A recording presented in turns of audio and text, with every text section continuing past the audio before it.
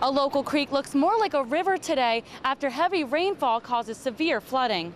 It's very difficult to prepare for. You just hope for the best and just hope the creek don't rise to where it gets into your home.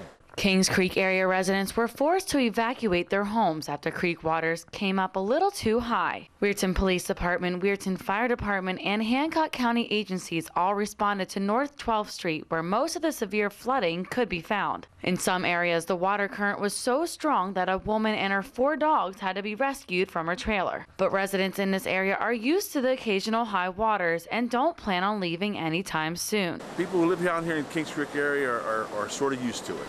I lived here since 59 and uh, I don't plan on leaving. It's a home. Sheriff Fletcher says they haven't received any calls for emergency and no power lines were affected. It looks like the danger's gone for the moment. People just need to be watching and, and uh, listening to the news and paying attention. Now residents and authorities have to play the waiting game until the creek waters finally go down. In Weirton, Sara Yingling, 7 News working for you.